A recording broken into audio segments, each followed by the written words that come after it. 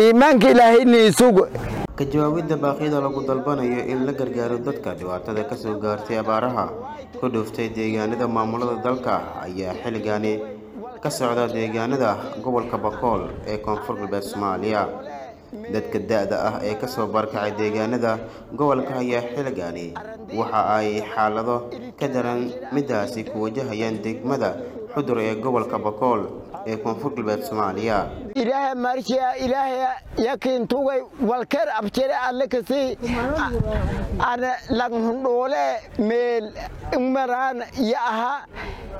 Kolley arante ilaahaya gabe ididkaar abjere alle kiintege adduunyo dhaqanqii dhur alle siinkasi aakari deherjinaad alle ni kulmi dembigin dembiweyskin alle dhaaf.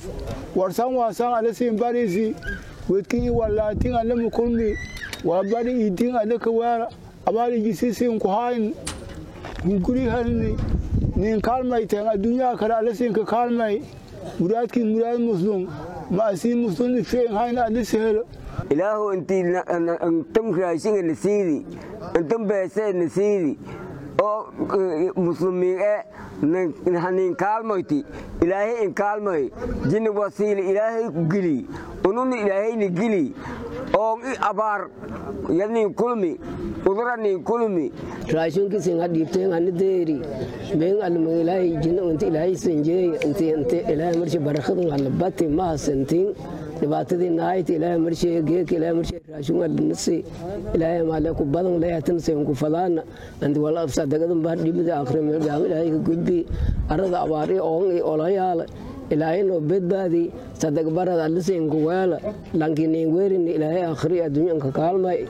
Inti sadagan halabatayna ilaahay maale ilaahay weyna waayo irti khayr qabta siintaga xudur oo bakool maamulka koonfur galbeed ka ah gadow jubbada hoose oo jubbaland ah deegaanada hoostaga gobolka hiiraan oo hirshabeelle ah galmudug iyo puntland. Deegaano ka tirsan ayaa la mid ah deegaanada ay abaaruhu ka jiraan. Askariya cusmaan cabdisaki soomaali warbaahinta city. Waad ku mahadsan tahay daawashadaada? Inaad nagu soo biirto wax lacaga kaagama baxayso.